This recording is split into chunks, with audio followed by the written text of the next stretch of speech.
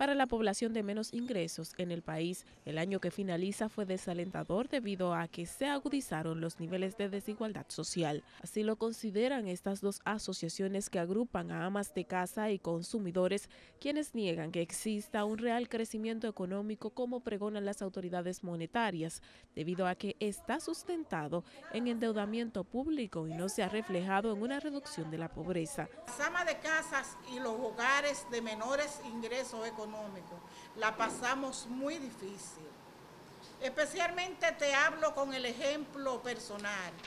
Cuando yo tuve que salir el mismo 24 en la mañana a comprar la papa para la cena de mi casa, y fui a varios sitios y la encontré en uno, porque había hasta escasez, a 40 pesos. Ya tú te puedes imaginar piden que se cree una comisión que monitore los precios de los artículos de la canasta básica para así evitar alzas desproporcionadas como las ocurridas frecuentemente.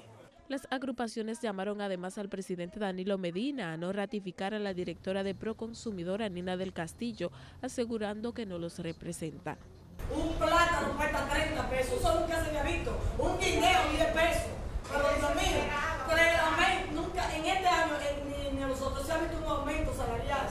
Y que cada día hay más personas pobres todavía, que la necesidad es más grande cada día. Entonces, no solo en una Navidad, sino en un año entero. Que es la gestión más pírrica y más pobre que se ha hecho en el sector consumo y que esa persona no amerita seguir en el cargo, porque allí debe de estar una persona comprometida con los consumidores y no con los empresarios.